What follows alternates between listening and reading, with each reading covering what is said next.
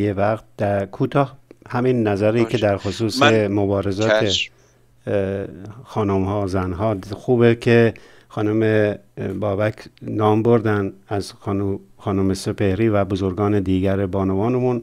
از گوهر عشقی هم اسمی برده بشود. خب در خدمتون من هم من هم می‌خوام ادای دینی کنم پایان این برنامه. که به حساب حداقلش اینه که می‌تونه دو برای چندمین بار ثبت تاریخی بشه. به باور من نیمی از پیکره جامعه ایران زنان آینده این مملکت رو به دست خواهند گرفت و سرنوشت ساز و پدیده خواهند شد و تاریخ به قضاوت به احترام ازشون یاد خواهد کرد. همانطوری که روز روزگاری بارها گفتم تاهره قررت لینه ها آمدند و تابوهایی را شکستند و در خاور میانه ای رو که صدها سال نسبت به زمان زندگیشون جلوتر بودند. همونطوری که فخر السلطنه فروهر از زنان زمان مشروطیت با قبلا تو همین برنامه ازشون یاد کردیم در تاریخ مشروطیت که مدیر مسئول مجله نسوان وطنخواه تنز تلق تاریخ و بارها گفتم راجع به سرنوشت فقر و سلطنه فروهر که تبعید شد. ایشون تبعید شد به قوم و عمدن این تبعید و آن زمان مرتجعی آن زمان آن زمان انجام دادن.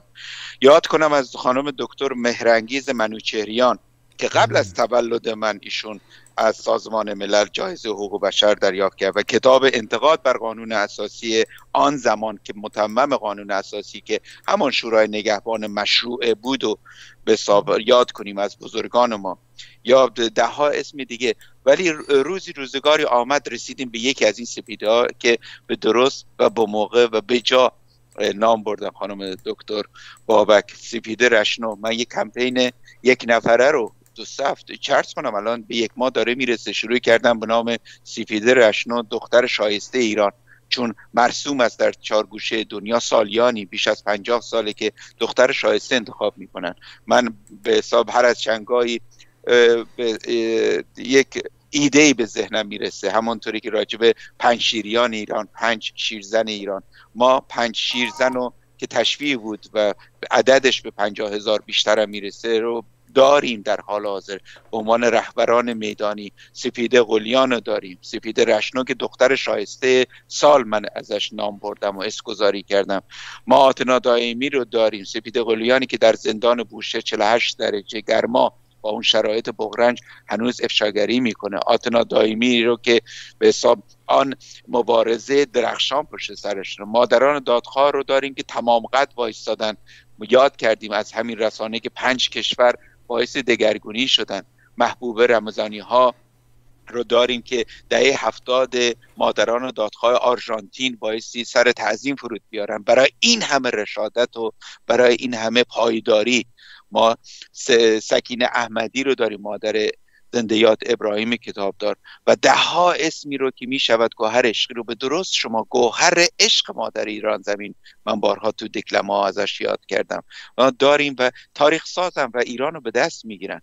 و از این سیه روزی و از این تند, تند پیچ حوادث سپر سیاسی ایران که سرنوشت ساز هست همین مادران همین زنان همین شیر دختران و همین سپید رشناها هستند و همین چهارشنبه های سپید همین دختران میدان انقلاب هستند که میآیند و 43 سال سیه روزی رو برای ایران آباد و آزاد نقطه پایانی می‌ذارن. این دیر نیست دروغ نیست رویا نیست. این عین واقعیتیه که من وجدان عالی ملت ایران رو به شهادت می‌گیرم که باعث این همراهی بین دو تا پنجاه درصد صورت می‌گیره که ظلم و مضاعف این پنجاه درصد جامعه بایستی روز روزگاری و همین زودی ها جبران بشه. سپاسگزارم. خیلی ممنونم. خانم دکتر میترا بابک به عنوان حسن خطا می‌خواستم ببینم بازم نظری دارید به اونهایی که هنوز ذهنشون برنگشته. یه خور همراهی بکنن بیشتر.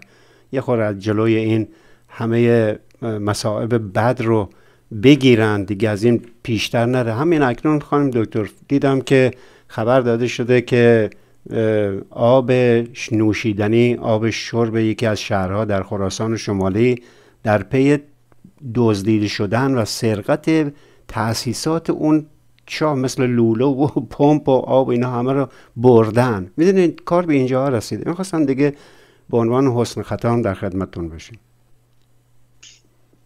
بله من ولی از گوهر بانو خوشحالم که یاد یادآوری کردی. یادمون نره که مادر پویا بختیاری هم همچنان در بله. زندان تک تک این شیرزنان مادران دادخواه شما ببینید چه قوقایی به پا بله، کردن. چه قوقایی به پا کردن.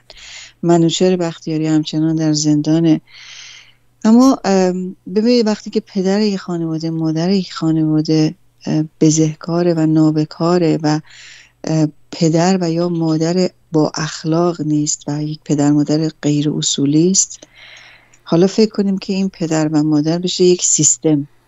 یک سیستمی که پدر مادری که دزدی می‌کنه پدر مادری که خلاف می‌کنه پدر مادری که خشونت می‌کنه پدر مادری که قلدری می‌کنه. به حال فکر کنیم ببین می‌بینیم که چهل و چهار سال این پدر مادر شدن یک سیستم برای جامعه ما.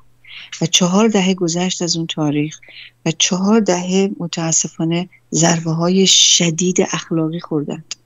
وقتی که یک کشوری زیر فقر ما رفتیم زیر خط فقر و متاسفانه ما ستون خوابم دیگه داریم.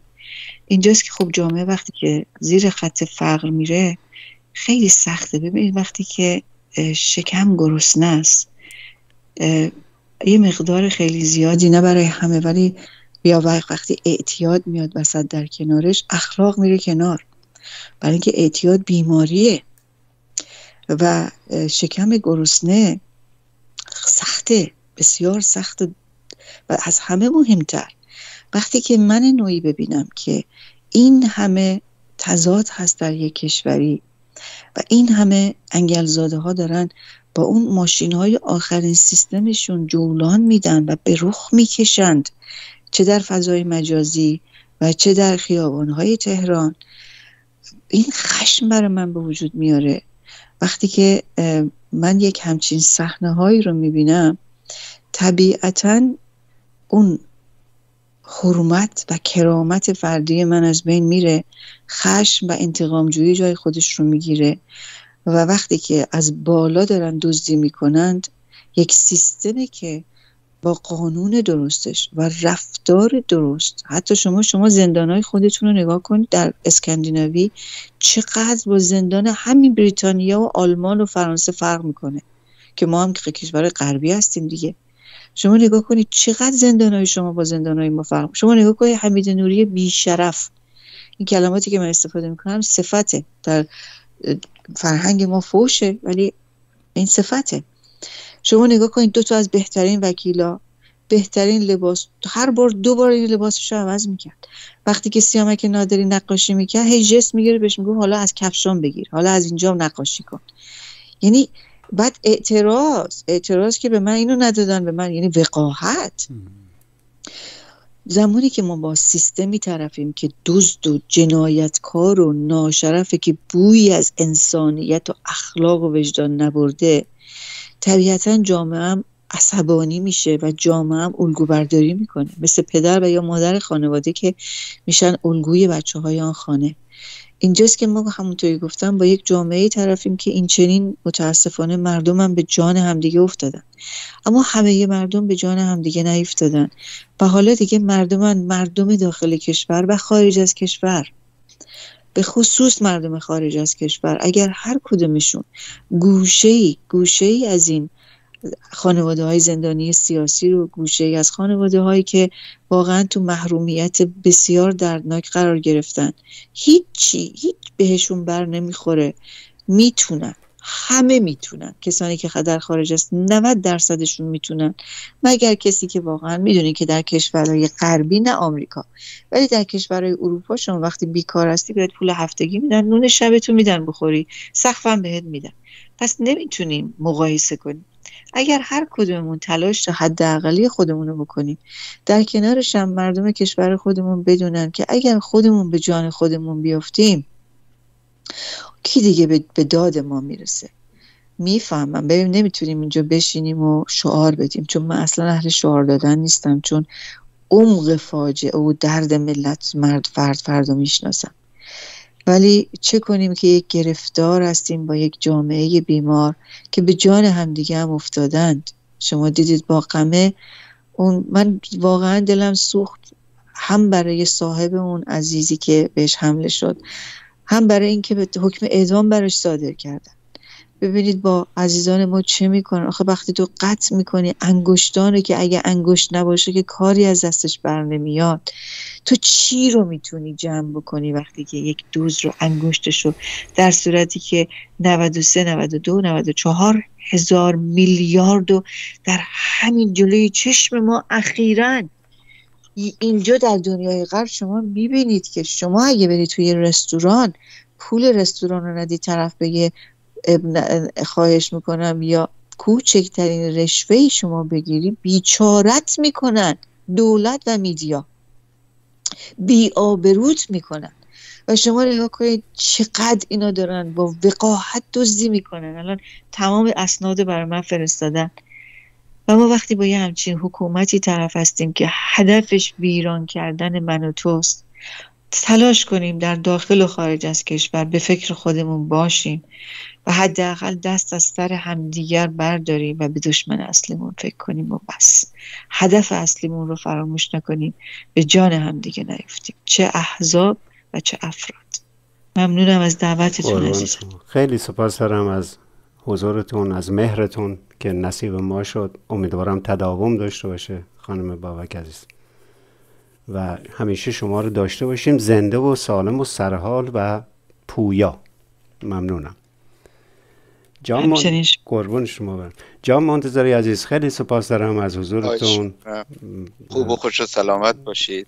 ممنون از حوصله مخاطبان. آرزوی بهترین ها رو دارم. من هم امیدوارم با سعادت اینو داشته باشم.